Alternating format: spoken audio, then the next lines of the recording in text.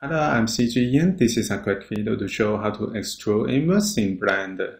This is the default scene in Blender. In this tutorial, I'll use the default script to show how to extrude inverse.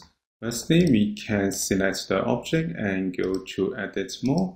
And then I want to add more faces. I will use loop cuts and add the loop cuts, something like this. So I select the face in the middle. If we want to extrude, we can press E and move the cursor. We can extrude and move the cursor to the front. We can extrude outwards. If we move the cursor to the back, we can extrude inverse. Click to apply it. Actually, we can adjust the value to control inverse or outwards.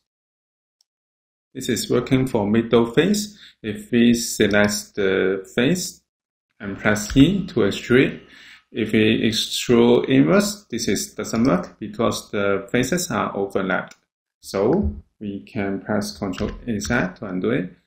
We can extrude inverse by using Alt E and just extrude manifold and move the cursor backwards so we can extrude inwards.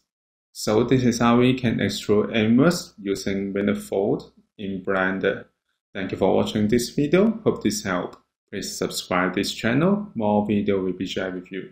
I'm CGian. See you in the next video. Bye bye.